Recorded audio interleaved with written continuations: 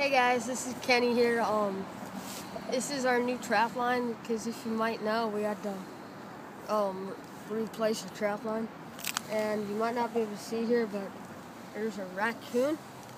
First raccoon on my birthday, November 1st, and um, we got a possum. This guy's pretty nice size.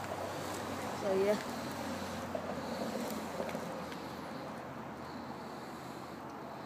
Hey guys, this is Kenny here, and um, this is us from just checking our traps, driving our way home, and we caught um, first possum of the season. It's pretty good because normally it's the first thing we catch is possums.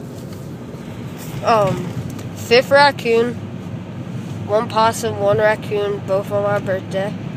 It's pretty cool and um, hope we can get a good season this year.